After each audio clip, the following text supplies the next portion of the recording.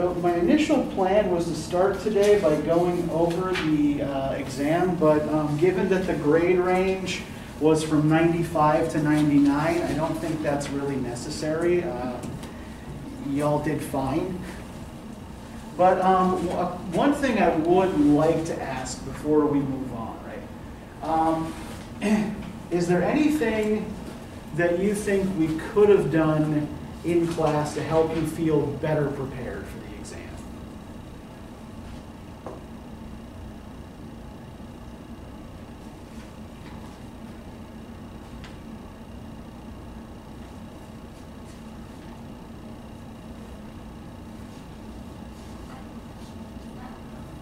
Okay. I mean, it's like, n- none of you seem to have that much trouble with it, so you, you, I mean, clearly you all showed up, you know, you showed up ready to play, right? Um, but, uh, was there anything that we did in class that you did think particularly helped you prepare for the exam? Is there anything we've been doing that you think has helped reinforce the information or?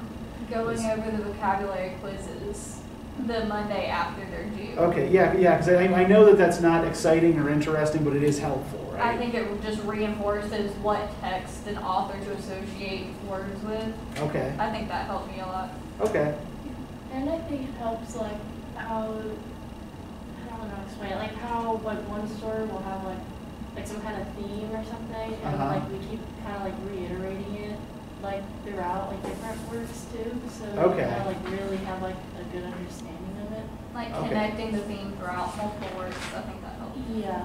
Like Okay. how we like focus on like decades with like Dorian Gray, and like kind of like kept like coming up when we like go back to it, and so it helped me like really Uh-huh. understand like what it meant. okay. So when we're coming back to the same kinds of ideas again and again, that's helping, okay. Repetition. Yeah, I mean, that's, I mean, that- that's drill it and kill it, right? I mean, that's. Okay, anything else that you think has been particularly helpful or unhelpful?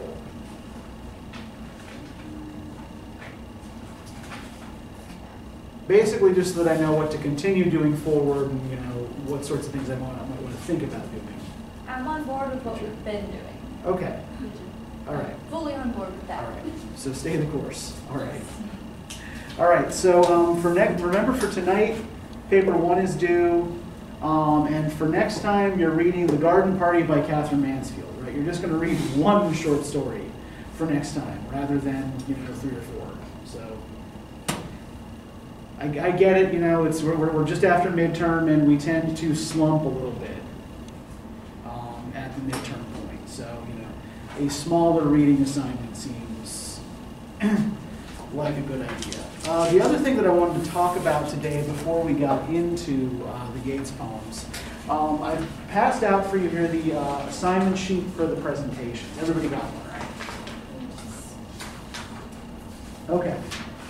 So I know it says here you and your partners, this used to be a group presentation assignment, but there aren't enough people to form groups in this class. So they're going to be solo presentations. Um, you're going to give a 20-minute presentation on your assigned topic. You have to use at least five secondary sources. Uh, for each of these, I've recommended three, right? And then you can find two on your own. And provide a complete bibliography for the project. So um, each of you has your assignment here.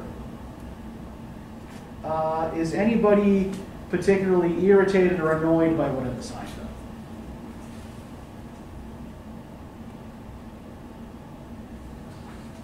Everybody's okay with what you got? I don't care for Eliot, but It's okay, you're not doing Eliot. You're Wait, doing, you're, you're doing George Orwell. okay, I mixed up authors. Yeah, no, yeah, you're, you're, you're, yeah, you're presenting on Orwell, so yeah, don't, don't worry about Eliot. I'm pleased with mine. Okay, good. Um, and so what I'm gonna wanna do with each of you, uh, like, you know, because I wanna set you up for success here. Um, a week out from your presentation, I'm gonna wanna meet with you and see what you've got and, you know, what questions you have and where you're having difficulties.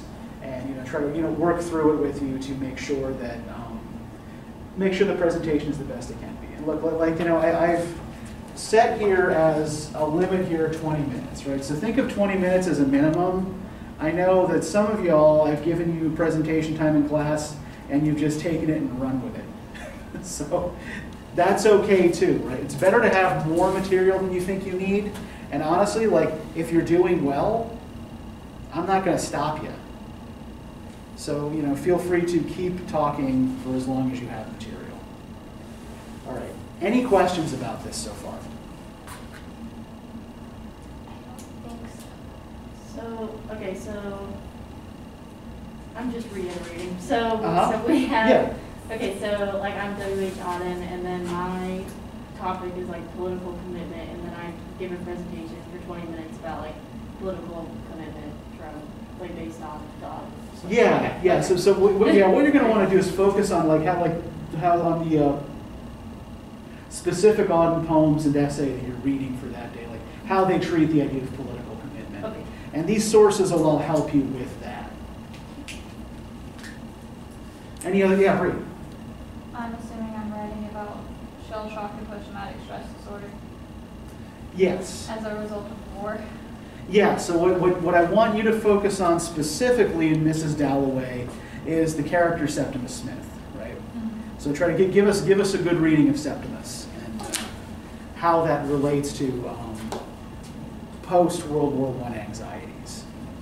And then my capstone on PTSD. Okay, well there you go. All right. Can I use those sources? um, run it by me first. I just have one really good one. Okay. All right. Any other questions? Have any of you never done a presentation like this before? Sam, you have not? Okay. I think I've been like a twenty minute. Okay, you've never had to talk for that long. I t- And I've had some that I had talked for like ten minutes, and I talked like super fast, or I'm like, Okay, I'm in front of people, okay. and then it And- becomes five minutes. Yeah, and, and, and that's actually one of the reasons why you need to have more material than you think you need, right? Because once you get up here, you're gonna start talking fast. Um, and you might end up giving the presentation in half the time you thought it was going to take. So it's good to make sure you have enough material, like, it's good to practice a couple of times before you actually have to give it to, you know, build your confidence, right? Practice slowing down in particular, you know, practice speaking in slow, measured tones. That way, when you actually get up to give this, you still might speed up a little bit, but not quite so much as you would have if you were doing it cold, right? Uh, the other thing I want to note here is about um, things like visual aids, right? Um, so, how many of you like sit, sitting in a class where there's a lot of language put on PowerPoint slides that you just are expected to copy down, and the room is dark, and the professor just reads off the slides? It depends on what class. Heavily dependent on class. Okay, fair enough. But oftentimes, that particular style of presentation is not all that engaging, right? I like when there's like minimal bullet points, and then you discuss the bullet point. Like, you have Mhm, like okay. one like short sentence for a bullet point, and then you go into discussion. Yeah, so if you're going to use PowerPoint or Prezi or Google Slides or whatever, then use that kind of thing as a model, right? Use it to show pictures and to put up bullet points. Um, if you want to have note cards, that's fine, right? But in general, like, like what you should try to aim for is to know your material so well that you don't need a lot of specific notes, right? That you know you can maybe have like you know well you know usually what I have here, right, is like a couple of bullets I want to hit in the class period. And sometimes I don't get to all this stuff because you don't ask questions about it or it just doesn't become doesn't end up being relevant. But you know, um, when you know the material well, right, then you can then some the over preparing might actually trip you up. Um, other things uh, to keep in mind here. So I've got the, the grading standards here. Right, so this is worth 15 points total, right? So I'm going to give you five points for how well you seem to understand the material. I'm going to give you five points for the quality of your supporting materials, whether that's a PowerPoint presentation or um, posters, or a handout, or whatever? Basically, anything that you show or give to the class. And you'll get five points for the quality of your research, right? So in terms of the research, I want you to treat this like you would an end of semester research paper, right? Use the three sources I gave you. Um, you can get most of them, if you can't get them directly from our library, you can get them through the consortium. Um, some of them I might actually even be able to loan to you. I have copies of them, so if you just come and talk to me, um, I might be able to help you out with some of this stuff. Um, and yes, now that you have the assignment, start on the research more or less immediately, right? Get your sources in order first. Since you've got the time to do it, right? Because then if you have to order something from this consortium and it doesn't come in time, right, you know, you're not scrambling at the end. Okay, anybody have any other questions about this? Not currently. All right. If questions do arise, please do feel free to get in touch. I have every bit of confidence in all of you that this is going to go swimming. Okay. Um, right. So let's get back to our good friend, uh, Mr. William Butler Yeats. Uh, so how did this go for you? What'd you think? Questions? Okay. I expected that you would have questions. Go ahead, go ahead and ask your questions. Yes? I've read the last two before. I've read the last two before. The last two poems? Yeah, the Easter one and the uh, second. The one. second coming. Okay, well, well, did you read them in like a Brit Lit 2 class I or? read in high school and in Redlands. Oh, high school and in Brit Lit 2, okay. I read the second coming, I can't remember, it was here, I don't remember what class, Uh-huh. we like broke it down and everything, But. Yeah, you, you, you've, yeah, you've mentioned it, you've mentioned that, yeah, yeah, before that you've done that. Who, who did you do it with? Whose class was it? uh, Don't remember? No, I have no idea, but I know, I know we did it. Okay. All right. So, um, so some of this stuff is not completely unfamiliar to some of you. That's good. Um, so, what questions do y'all have about this? I think I'm wrong with what's going on in Easter. Okay. Well, let's start with what you think is going on in Easter. It's obviously referencing, um, uh, some type of revolution or Uh-huh. rebellion Yes. that failed. Yes. And he talks about dreams and hopeless attempts at achieving dreams and how they were changed by it. And what came out of it or what they ended up with was Uh-huh. terribly beautiful. Okay.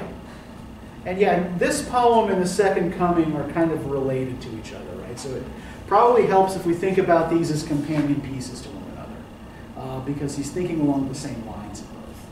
Okay, so Easter 1916 is, yes, specifically about a failed revolution.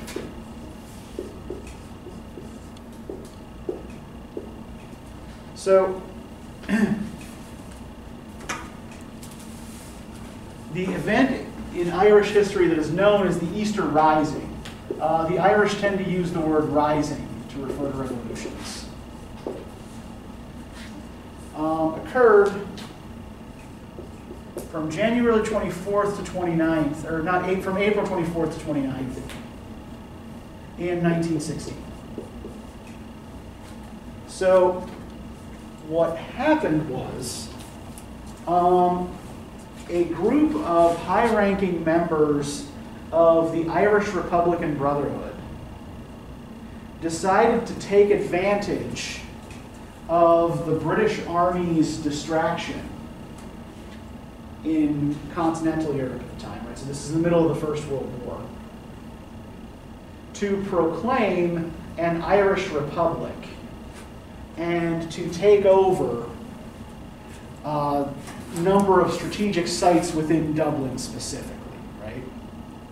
So, you know, there, there were risings in other parts of the country as well, but there were, the main action was in Dublin. Um, and they proclaimed their republic from the general post office in what was then Sackville Street, what's now called O'Connell Street. And then um, the British Army came in and started shelling um, all of the positions that the IRB had taken over. Uh, the leaders were rounded up and captured, and the majority of them were executed, with a couple of exceptions, which I'll talk about in a minute.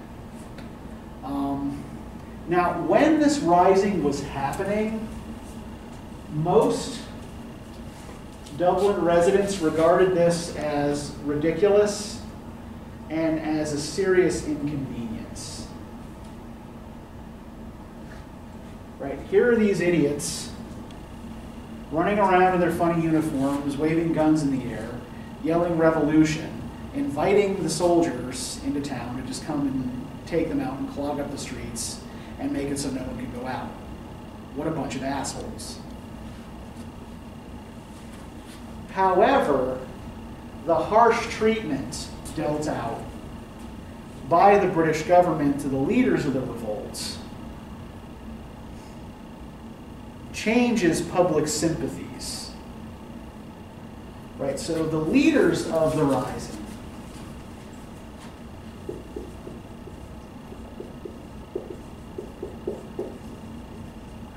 were Patrick Pearse, Thomas MacDonagh, both of whom were poets and scholars. Uh, MacDonagh taught at University College Dublin. Patrick Pearse ran an Irish language school. Uh, Kent,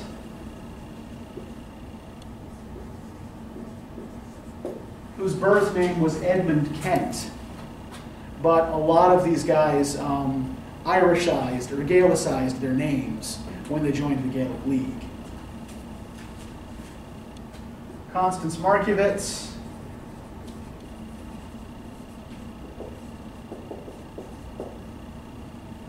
James Connolly.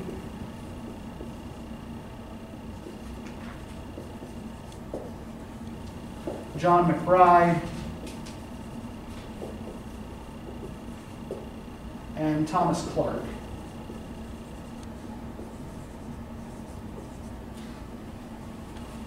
And right, as we know from having read Joyce, Dublin in the early 20th century was a pretty small place. People knew each other, right? And Yeats was personally acquainted with several of the leaders of the revolt. Right? In particular, he had known Constance Markiewicz when she was a young Anglo-Irish heiress before she married a Polish count and got herself involved in revolutionary politics. Um, he knew Thomas MacDonagh and Patrick Pearse, you know, fellow poets. Um, he knew James Connolly and didn't take him all that seriously. Connolly was the, um, the founder of the Irish Labour Party um, and was a prominent uh, socialist leader um, in early 20th century Ireland. Uh, MacBride uh, he knew and despised. MacBride was married to a woman named Maud Gonne. Now, those of you who have encountered Yeats before, did you talk at all about Maud Gonne and who she was? Yes. Okay, yeah, who's Maud Gonne? Wasn't it his like, mother or something? Am I wrong? I don't know. I've heard the name. Okay, so Maud Gonne was the great unrequited love of Yeats's life. Okay, so yeah, I said yeah. Yeah, he was th- this woman that he was obsessed with uh, from his kind of late teen years, right, into middle age. And he kind of consistently pursued her and was consistently rebuffed. To the point where, like, once she had kind of turned him down for the final time, he started to turn his attentions to her adult daughter. I know, yeah, I believe it's, yes, yes, it's creepy. Okay.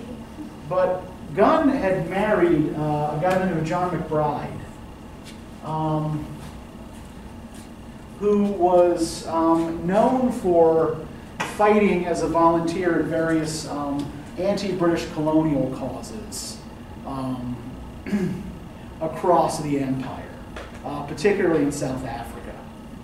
Um, and MacBride um, was apparently uh, a drunk and was physically abusive to Gonne and her daughter. And so she obtained a legal separation. At the time of the, the rising, MacBride and Gonne were, were legally separated. But, uh, so yeah, so he knows many of these people personally, right? And with one exception, all of these leaders are executed. I'm going to throw one more name up here. He wasn't a leader of the revolution, but he was. Um, he becomes important in later Irish history, and uh, he uh, he also narrowly avoids execution. Um, a guy named Eamon de Valera.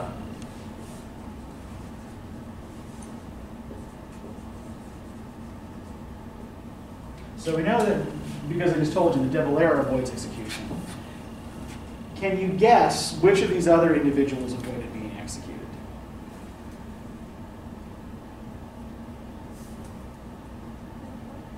Pardon?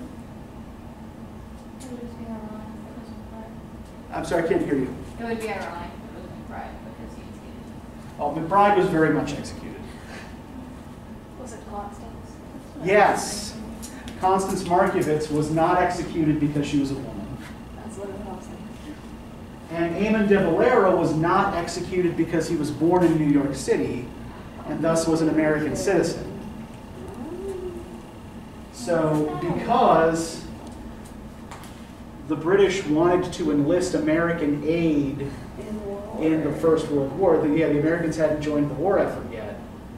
Um, can see how they would. yeah, they didn't want to. Yeah, they didn't want to piss them off by executing an American citizen.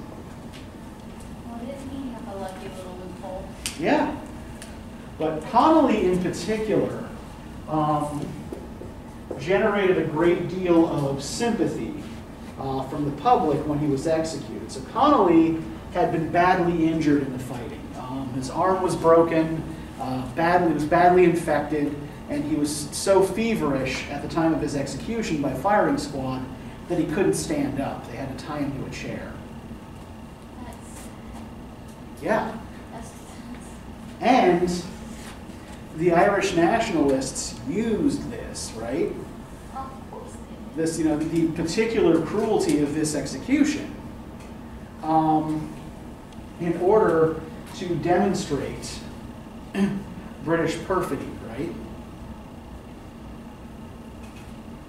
So the basic background to this, to all of this happening, right, is that in 1913, remember when we talked about home rule? Does anybody remember what home rule was?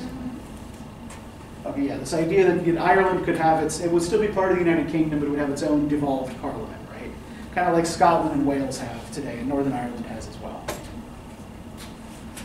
So in 1913, a home rule bill passed.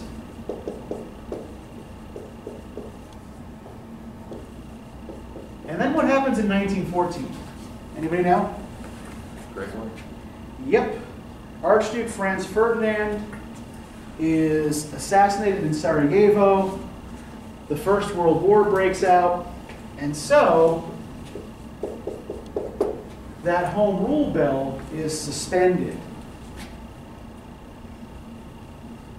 And this kind of um, takes the wind out of the sails of that more moderate Irish nationalism that was sort of more just kind of pushing for representation and political rights, and gives more um, it gives more influence to these physical force nationalists who simply want to break away and form an Irish republic, right? So you know the part the Parnellite anti-Parnellite dispute is kind of rendered moot here. Um, it's like, well, we're not getting home rule anyway, so we may as well push for um, a break altogether here, right? But let's look at the way Yeats actually treats this incident in the poem. And see if, you know, now that we know a little bit more about this, this makes any more sense to us, right? Can I get somebody to read the first verse paragraph for us, um, page 73? I've met them at close of day, coming with vivid faces, from counter or desk among gray, 18th century houses. I have passed with a nod of the head, or polite, meaningless words, or have lingered a while and said polite, meaningless words. And I thought before I had done of a mocking tale or a jib, jibe, Jive, yeah. to please a companion around the fire at the club, being certain that they and I but lived where motley is worn. All changed, changed utterly. All terrible beauty is born. Thank you. So first question I want to ask you here, does this sound anything like the Yeats that we met a couple? Yeah, this is a, com- uh, like almost a completely different poet here, right? So what kinds of things do we see stripped out? The mythology, the more fanciful, like the fantasy part of it. Okay, yeah, the mythology and the fantasy are largely gone here, right? Do we notice anything? Do we notice any differences in the style here? It's more formal. Okay, well, what, what makes it sound more formal to you, Bree? I it just seems like he's tiptoeing around saying that he really didn't care about talking to these people, like polite, meaningless words. Uh-huh. He's trying to politely say that none of the conversations he had with these people had any real meaning or substance to them. Yeah, so he is again indicating familiarity with these people. Yeah, I knew them, right? I would pass them on the street, we'd say hello. But what seems to have been his general opinion of them? They're clowns. Yeah, exactly, yeah. They're a bunch of clowns, right? He's Is, the, is motley? I've heard that word before. Is it a fabric or something? That, It's like something that word, that like, gestures for. is yeah. the, like the little neck thing. No, Motley is, Like like, it's, yeah, it's like the multicolored Oh, costume okay, okay. that, uh, that, that a, a king's fool or a jester Okay. would. I just put. I was like, it was like that? But yeah, yeah, the, yeah, the image yeah, is meant to conjure up, yeah, the idea that these people are a bunch of fucking clowns, right? That Yeats didn't take them seriously, and neither did anybody else, right? All changed, changed utterly, a terrible beauty is born. Right, and this idea of terrible beauty repeats throughout the poem, right?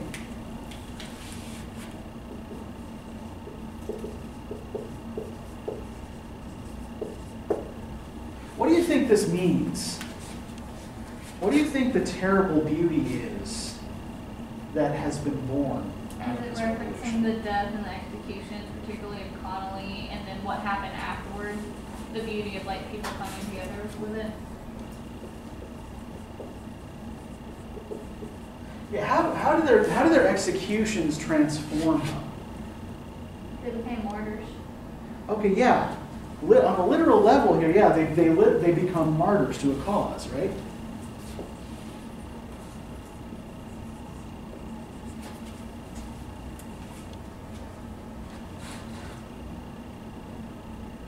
I think let's um, let's keep going here, and we'll see kind of like to what extent Yeats seems to regard this martyrdom as a positive thing? Can I get somebody to continue reading uh, from the next verse paragraph? So that woman's days were spent.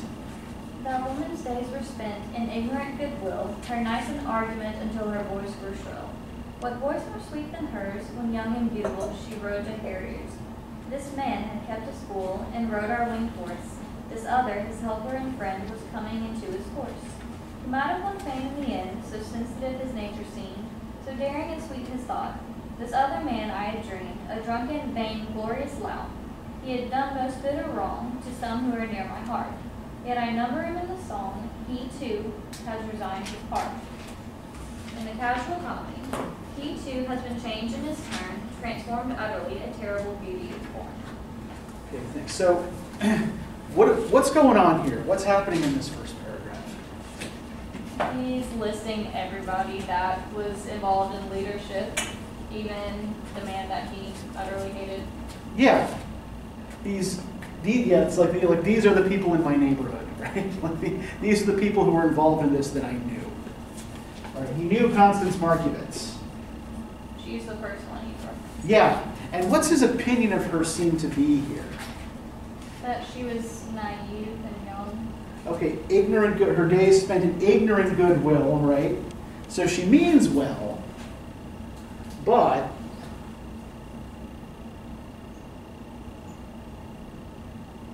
She doesn't know what she's doing. yeah, her night, you know, her nights in argument until her voice grew shrill, right? What voice more sweet than hers when young and beautiful she rode to harriers? So he's remembering here the Constance Markiewicz that he'd known as a girl, right? And comparing it uh, with the adult Constance Markiewicz. And which picture does he seem to find more attractive? The young. Yeah, the young fox hunting lady, right? He finds more attractive than the adult rhetorician. Going to meetings and wearing army uniforms and shouting at people, right?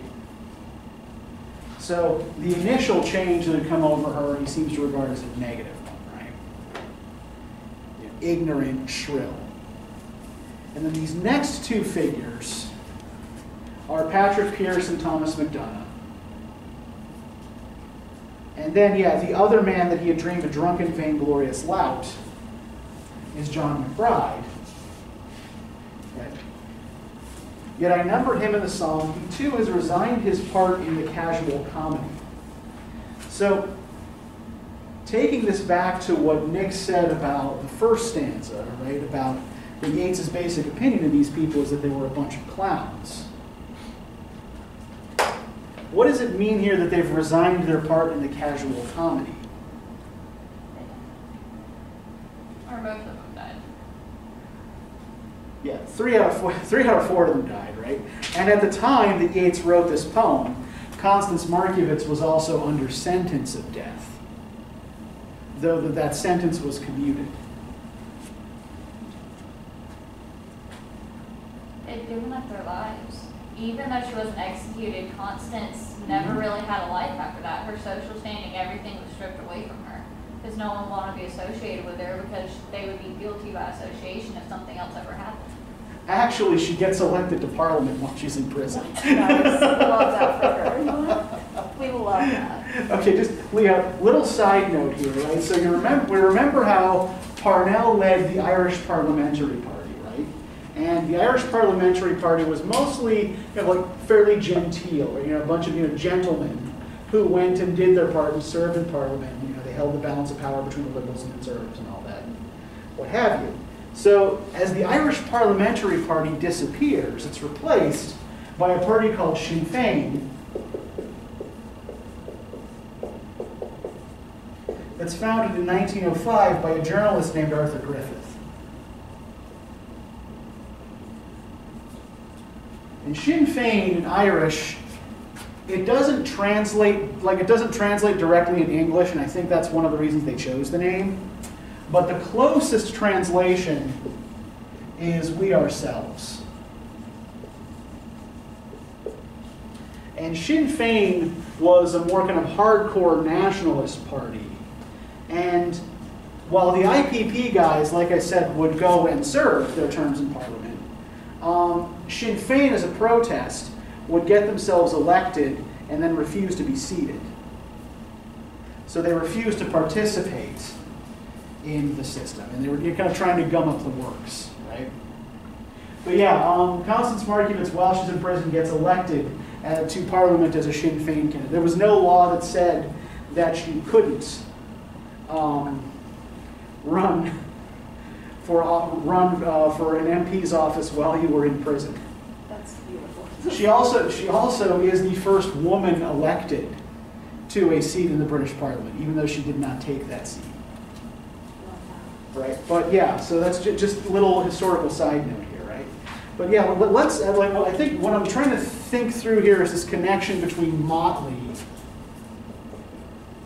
and comedy in these first two verse paragraphs, right? So the motley is part of the indication that he thinks these people are clowns, right? And if they've now resigned their part in the casual comedy, Would it, I have an idea, but. Yeah. go ahead. What it, he said they're like resigned to play their part, so they kind of accepted like, okay, well, we're fixing to get killed, like, but they've accepted that as their fate, like they know like this is what we've Mhm. done to do this. They just have to accept it and hope that in the future it can be done again and actually like do its job. Okay, the problem there is it doesn't say that they're resigned to their parts. It says they resign, he said resigned his part, right? So to resign in this case means like, you know, to quit, to leave, to abdicate, right?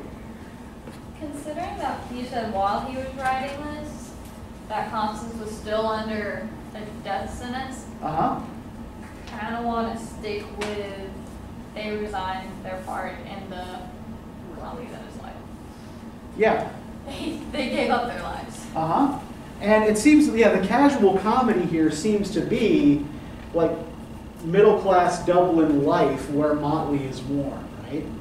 You know, he implicates himself in all of that as well, because, you know, he's, he's talking about how he's, you know, he meets with these people and then thinks of a joke to tell his friend at the club about them later on, right?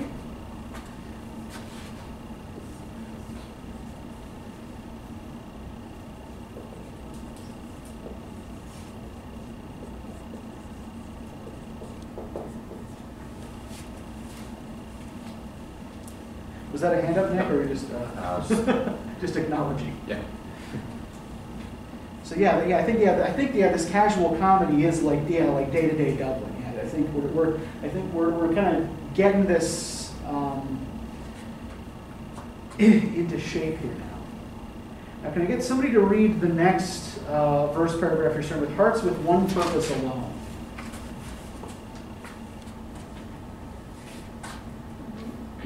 Hearts with one purpose alone, through summer and winter seem enchanted to a stone to trouble the living stream. The horse that comes from the road, the rider, the birds that range from cloud to tumbling cloud, minute by minute they change. A shadow of cloud on the stream changes minute by minute.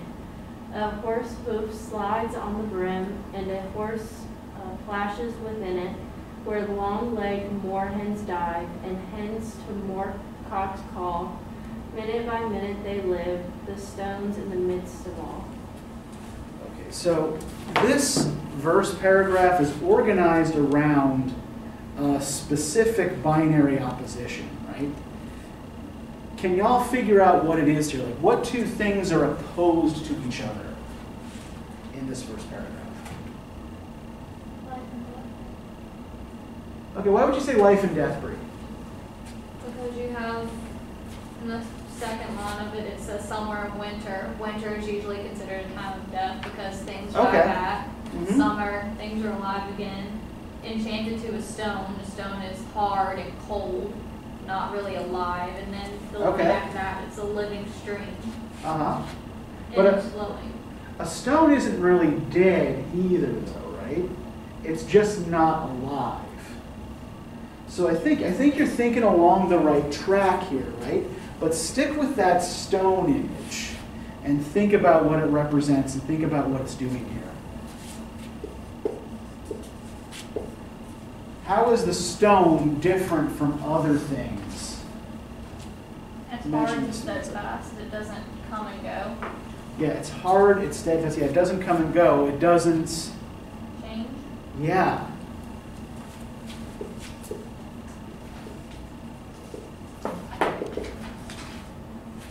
Everything else in this verse paragraph is moving and shifting and changing, right? You know, whether we're talking about the stream or the seasons or the clouds, right? The animals, what have you, right? But the stone in the middle of the stream is unchanging, it's still. And what is the stillness of that stone do to all of these changing things around it? It's like a pause. Okay, They how, have to stop and go around it. yeah.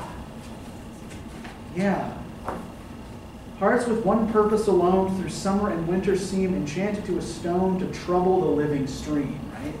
So this stone is this great big still thing that all of these other moving, changing things have to adjust themselves to and work their way around, right?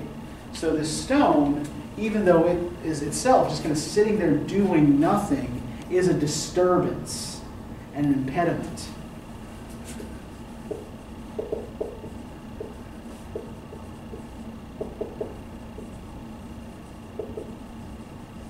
And what does the stone represent? What do you think the stone represents here?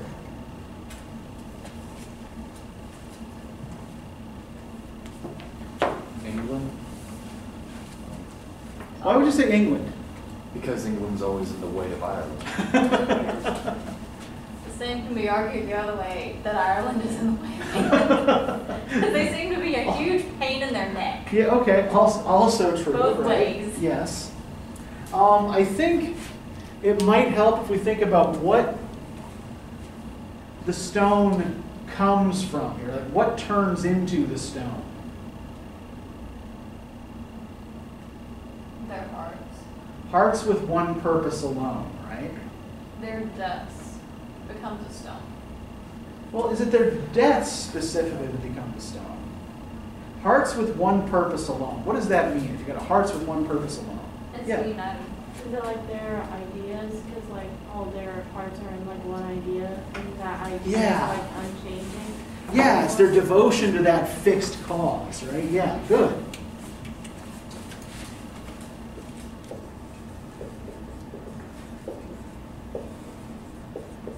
Right, their devotion to this cause is, on the one hand, like the still center of a moving world, right? But it's also a thing that is throwing that moving world out of balance.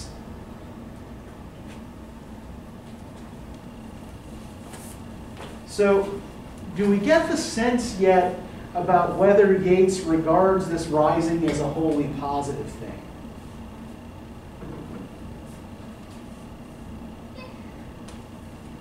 Does he seem to be all in on this? He's not on. I don't think he's on. I think He's you still can see the the. I think you can see the future plot like this will break. Uh-huh. Because obviously, uh, IRA is gonna be created soon enough, and then they're gonna blow up a boat and Mhm. so forth and so on. So I feel like he can. I feel like he's for. Like, he's like, yeah, it, the independence is necessary, but also like, I think he can see like the violence that's gonna happen now because of this. Yeah, there's a deep ambivalence here, right? This whole idea of terrible beauty, right?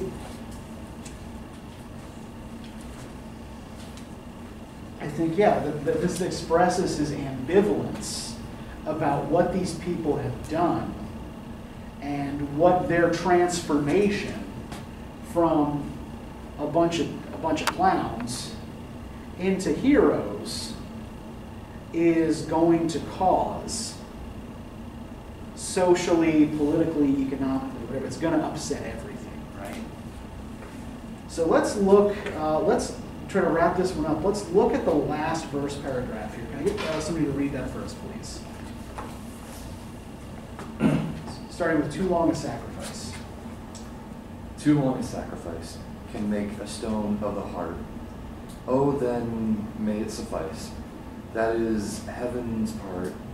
Our time, or uh, our part to murmur name upon name, as a mother names her child, when sleep at last has come, on limbs that had run wild.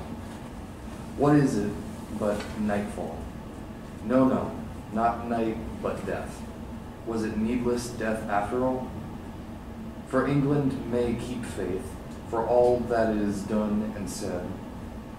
We know their dream enough to know they dreamed and are dead. And what if ex- excess of love bewildered them till they died? I write it out in a verse, MacDonagh and MacBride and Connolly and Pearse, now in now and in time to be, wherever green is worn, are changed, changed utterly, a terrible beauty is born. Thank you. So let's try and think about here to what extent Yeats is able to resolve this terrible beauty problem here. What's going on in this last verse paragraph? First, like, what do we start with here? Too long a sacrifice can make a stone of the heart. What does that mean? What do you think that means? When you've been wanting something, working for something for so long, and you keep hitting that block, it can make you cold. Okay, yeah. When you've been giving of yourself, yeah, to a particular cause for too long and seeing no result from it, right? Yeah, it can harden the heart, right? You know, make, you know, enchant the heart to a stone, right? Okay, good. When may it suffice that is heaven's part, our part, to murmur name upon name, as a mother names her child, when sleep at last has come on limbs that have run wild.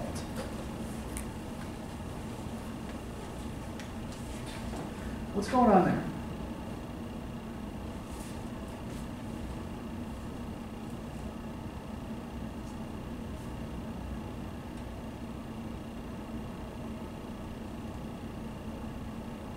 Well, let me put it this way: like, what, what's, the, where, where do we hear the notes of doubt creeping in in this last verse paragraph?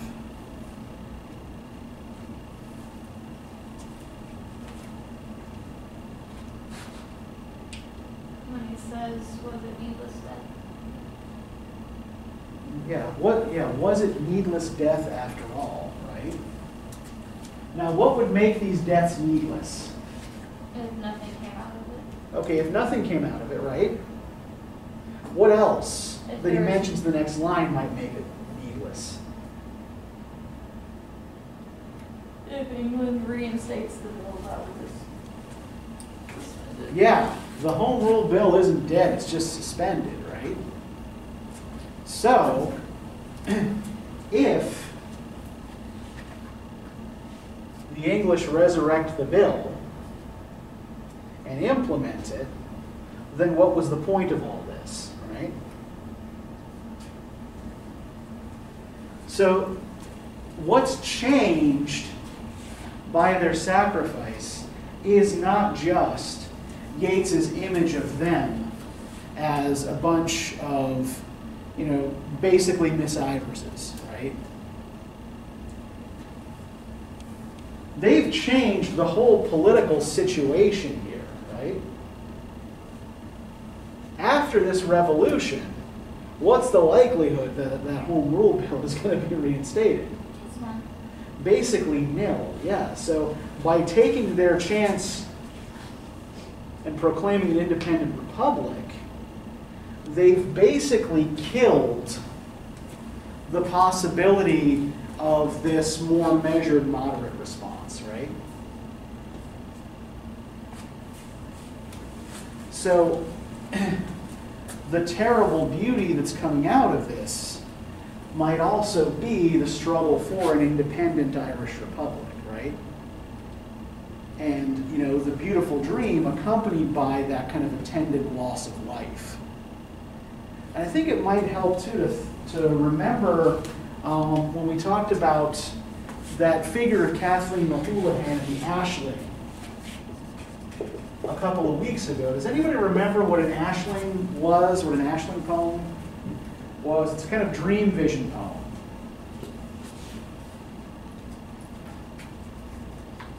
It was popular in 18th century Ireland.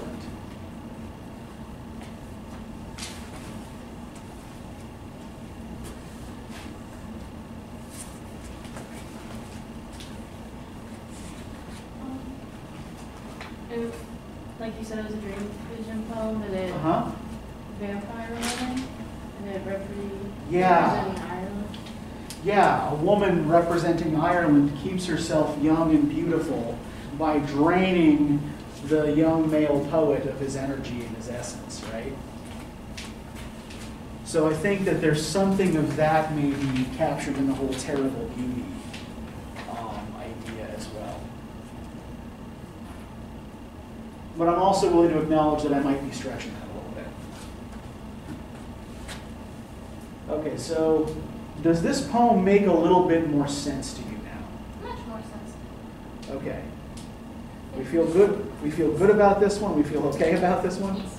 Context was needed. Okay, and yeah, I mean, th- this is a poem because it represent, because it- it's, you know, a representation of a specific historical event that we don't really talk about that much in the United States.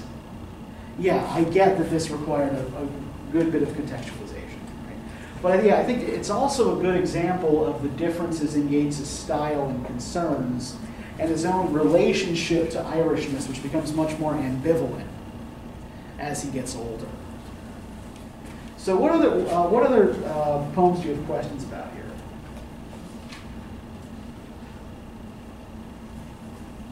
Were there other poems that you found uh, confusing or difficult? I love that. Okay. I wrapped up lyrics instead of beats. It happens. They were on the couch together, and I was just like, grab. I had to read the coat. Uh, I had to read the coat twice to Okay. understand what it was meaning. The second time around, I got like a full understanding. Okay, cool. So Close to full, anyway. let's uh, let's go to page 52 then. Let's go to a coat. So can you read it for us then, Nick? I made my song a coat, covered with embroideries out of old mythologies, from heel to throat. But the fools caught it, wore it in the world's eye, as though they'd wrought it. Song let them take it, for there's for there's more enterprise in walking naked. Okay, cool. So what what did you find confusing about this poem when you first read it? When I first read it, I'm just I'm just trying to understand like what, what does a coat have to do with mythologies? What, what does that have to do with somebody writing something? And but the second time around, I'm reading it, it's like, oh, that makes so much more sense. A coat, embroideries, mythology, being taken by others who wrote it, and then Uh-huh. I, I love how it just seems like this is his transitional point. Like he's gonna go beyond the mythologies. It's it's better to be original. Yeah, this is exactly why I wanted you to read this poem for today and why I wanted you to read it first. Um, because this is a transitional poem in Yeats's career, right? So the, the volume this is taken from is called Responsibilities, right? The ones before this are, um, you know, they're, called things like the Green Helmets and, uh, you know, the, um, you know, in, in, you know, in the seven woods and uh, the wind among the reeds, and they have these kind of very fanciful kinds of names, right? But this volume is called Responsibilities. And there is a big change in Yeats's career that occurs around this time, right? So in 1913, Yeats begins seasonally sharing a cabin in Studdock, sharing a, a, a cottage in Sussex with a young American poet by the name of Ezra Pound. Are you familiar with Pound? Have any of you read Pound in other classes? I've like heard of your found like millions of times. Yeah, I don't yeah, I've ever read, maybe like popular. Yeah, his, his, repu- his reputation these days is under kind of a cloud because fascist collaborator. Um, but, um, yeah. Um, be honest, never heard of him.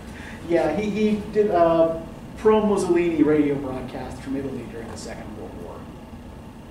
Um, yeah. Um, so, uh, so not a great guy on the whole. But yeah, he's still in 1913, um, 20 years away from that. Right? He's a young poet, right? American, very confident, and an admirer of Yeats, who wants to come and meet and work with um, the the great poet. Right? Yeats has already kind of established himself by this time as the leading English language poet. So they rent this cottage in Sussex, it's called Stone Cottage, um, and they spend their, you know, they spend uh, you know, whole days um, just, you know, writing poetry, reading, composing poetry, reading each other's poetry, and then um, going down to the pub the, at the end of the day for hard cider. and then coming back and writing more poetry. Um, and Pound's, like, even though Pound is 20 years younger than Yeats at this point, he actually does have a profound influence on Yeats's style. So Pound was associated in the early part of his career with a movement called Imagism. Now, I'm going to assume that most of you have probably not heard of Imagism. This is not familiar. Okay. So Imagism is another one of those short-lived, manifesto-driven modernist movements. Right around the same period as Surrealism and Dada and Futurism. So it lasts from about 1909 to about 1917, a little under a decade. And Pound, like to give, to give you a sense of what his poetic principles were at the time, in 1913, in a magazine called Poetry, he publishes an article called A Few Don'ts by an imagiste. It's typical of Pound to um, kind of uh, combine kind of colloquial, laconic Americanisms uh, with um, kind of pretentious, pretentious French pronunciations. So he elucidates in this article three basic principles of imagism. Right? The first, direct treatment of the thing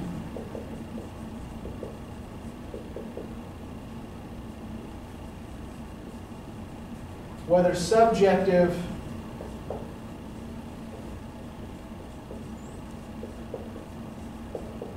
or objective. And we're going to see probably the next time we look at Yeats, that Yeats actually is, ends up borrowing some of this language directly from Pound's ideas. Right. Second, to use absolutely no word that does not contribute to the presentation.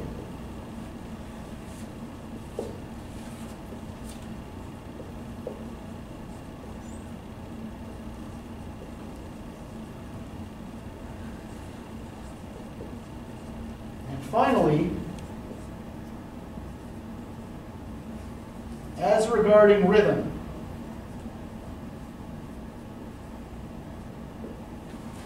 to compose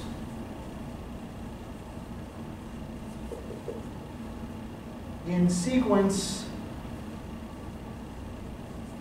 of the musical phrase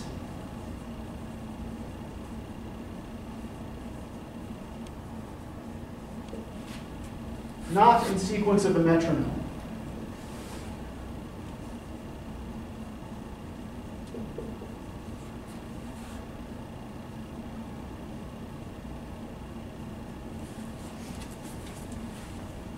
So let's see if we can unpack some of this in the time we have left, um, try to apply it to Yeats's uh, new style, right? So direct treatment of the thing, whether subjective or objective. What do you think that means?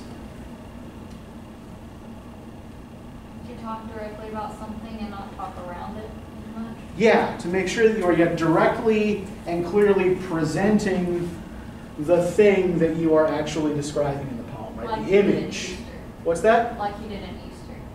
Yeah.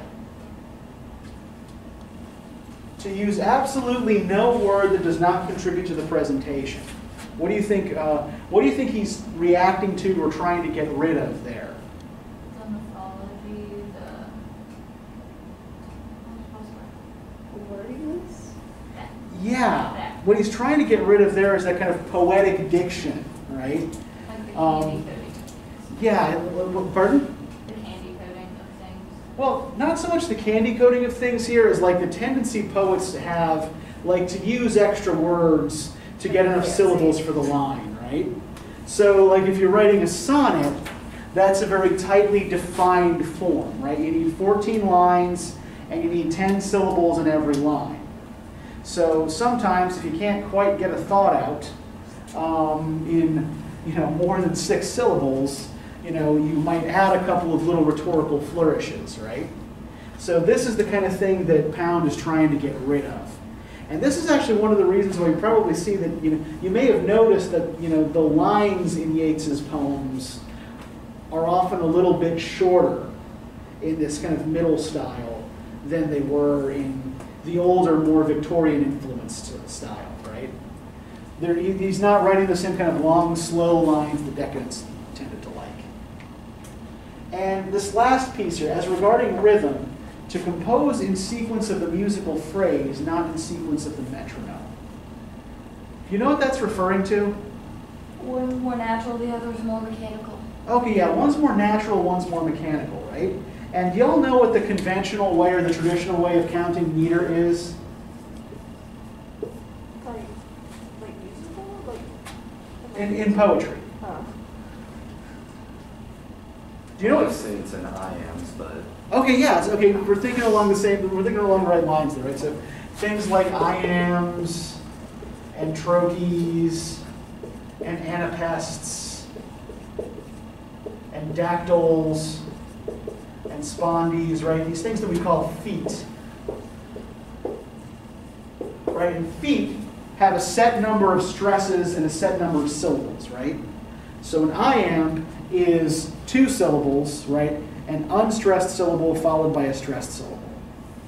Now, what Pound is arguing is that if you're thinking of your poetry this way, if, right, if this is how you're composing, you're not so much thinking about how things flow together sonically, you're thinking about how they, um,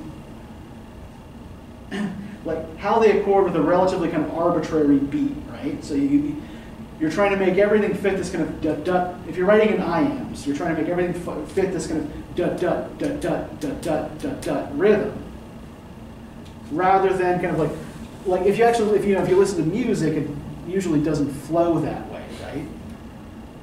So yeah, he is arguing for a less artificial way of composing a line. Now the other thing that is important here is his use of the words subjective and objective, because this is something that creeps into Yeats's thinking in this period. And this is kind of where we're going to finish up, because I think this is going to influence uh, where you're going with uh, your presentation on Yeats's most batshit whack-ass poetry. Nice.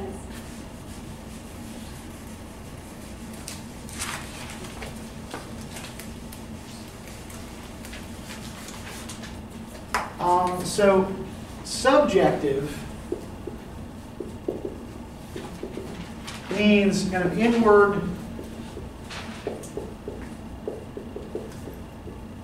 and self-focused.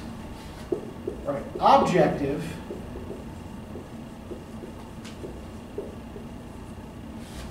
is outward and other focused.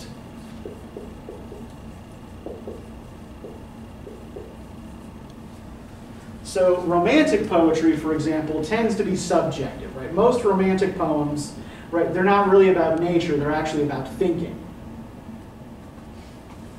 Whereas Victorian poetry, um, with its, you know, uh, tendencies towards realism and social concerns, tends to be objective. So Yeats takes this in a bizarre direction which is relevant to the Second Coming and also to Per Amica Silentia Lunae, right? So he's reading all of these, all, all of this European philosophy and not quite understanding it, but incorporating it into his work nonetheless. So he's reading a lot of Nietzsche. So a lot about, you know, supermen and, you know, like these kind of like transcendent, passionless beings that um, kind of like force history to accommodate them. And he's reading a lot of Carl Jung as well, and is influenced by Jung's idea of a collective unconscious, right? This kind of um, universal storehouse of images that all human beings share.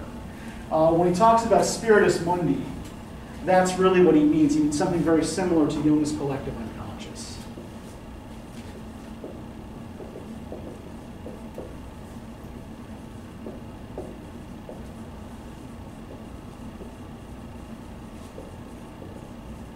He develops all of this into a completely nuts theory of history.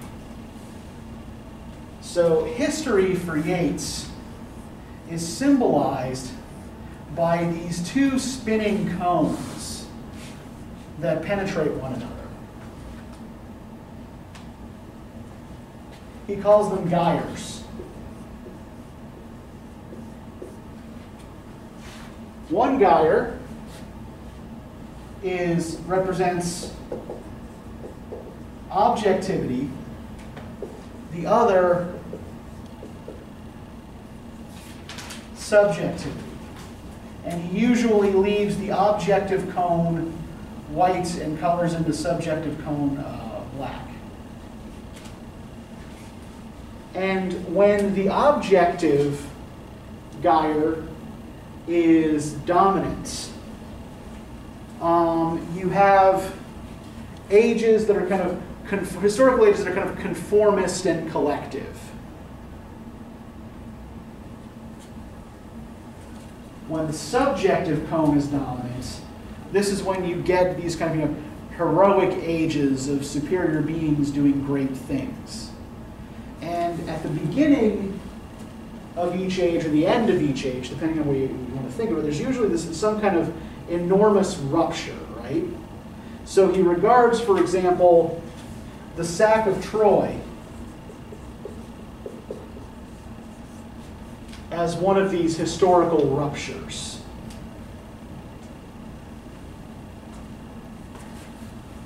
He uh, regards the birth of Christ as another one of these historical ruptures. Right? The birth of Christ he saw as ushering in the objective age in which we currently live, which he believed was about to be replaced by a new heroic subjective age. And if this all sounds like completely bizarre and completely nuts and something like no one other than Yeats would ever believe, um, yeah, that's pretty much correct, right? He was a loony. What's that? He was a loony. Well, you know, I don't want to say he was a loony. He believed some strange things. I don't want to go so far as to say that he was, that he was himself mentally ill.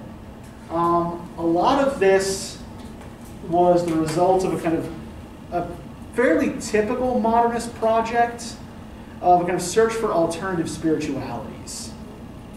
Right? As people, more and more people felt like you know, conventional Episcopalianism or Catholicism or whatever wasn't really filling the bill for them. They, they, they were, you know, either influenced by Eastern religion or by, you know, the tradition of Western occultism. Yeats happens to be influenced by both. And one of the things he's doing here is kind of fusing some of these ideas. So he's fusing Hindu ideas about cyclical history with ideas from Western occultism. That's where his ideas get a little. Yeah, that. Uh huh. Yeah. Yeah. That's where he goes that way. Yeah. I, I, I did once when I was in graduate school. Um, I had to sit through a presentation by another student um, who didn't seem to grasp that no one but Yeats ever believed this, and that this wasn't a system that like he presents this as a system that he got from a book by a character he calls Michael Robartes, right? So Michael Robartes is just one of Yeats's own alter egos. You know, there is no such person as Michael Robartes, but this other student did not seem to realize that, like, no, there is no Michael Robartes. Michael Robartes is Yeats. And I just kind of remember sitting there in, in frustration. She continued this presentation. So, poor child. Yeah. That's what I would do. Like, I would be. No, because you do your research first. okay, so we're about out of time with this, and I think that, um, you know, one, it's midterm and everybody's tired, and two, I get that Yeats really kind of does everybody's head in. So let me give you the questions for next time. I think you will find Katherine Mansfield a little less difficult than Yeats. Do we have a vocab quiz? this You week? will not have a vocab quiz this week. Amazing. because we only we only met uh, for instruction the once, um, and also you, you need a little break. That was also why I didn't give you a quiz on this today. Very generous. Very, very generous. I Yeah, I do have, like that. um, I have a silly question that I think